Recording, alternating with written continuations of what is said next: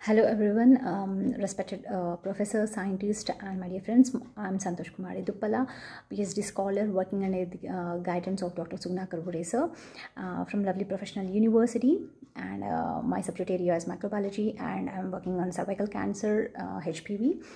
And today's um, abstract title is low and high risk HPV uh, phylogenetic analysis and in silico um, in silico protein protein interaction studies and docking studies in cervical cancer. Cervical cancer is the second largest cancer among women in India, and according to WHO, every eight minutes a woman dies of cervical cancer. It is caused by persistent infections uh, of high risk and low risk HPV types. It also causes other cancers like oral cancers, throat cancers, and uh, head and neck cancers, and um, vaginal cancers anal cancers.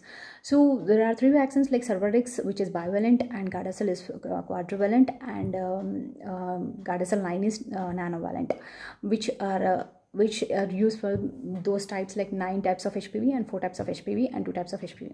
And Gardasil is available in India, and Gardasil 9 is not available in India, and um, there are more than 200 types of HPVs uh, among animal and uh, human species. So the main objective of my study is to uh, construct a phylogenetic tree uh, based on E6 and E7 oncoproteins uh, of high risk and low risk HPV types to construct a protein protein interaction studies and docking studies um, um, based on that.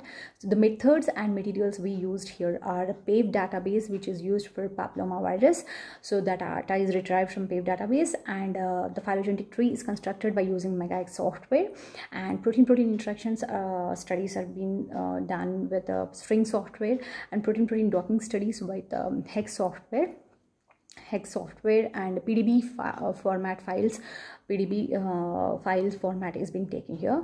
So the results uh, and uh, we got and we are working on it. Like um, uh, phylogenetic analysis shows a evolutionary relationship of uh, high risk and low risk for better understanding of the cervical cancer in which we got the 21 26 uh, 51 73 and um, uh, 82 HPV types which show anal cancers, vulvar cancers, vaginal cancers uh, of in low risk, low risk in those cancers and that transform as a high risk in cervical cancer. So they show a single branch and uh, they are closely related in, um, in, in the phylogenetic tree.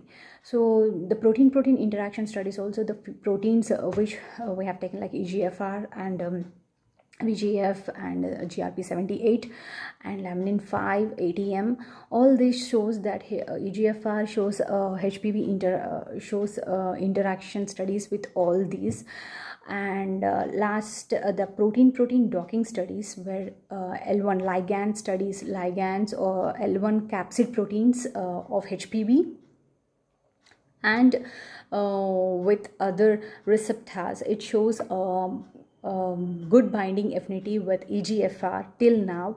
And uh, that is followed by heparin sulfate uh, which shows um, binding scoring and also structural affinity or also uh, very good. It is the predict uh, the prediction is uh, in good in these two. Other than the grp78 laminin and immunoglobulins interferons when we compare with this.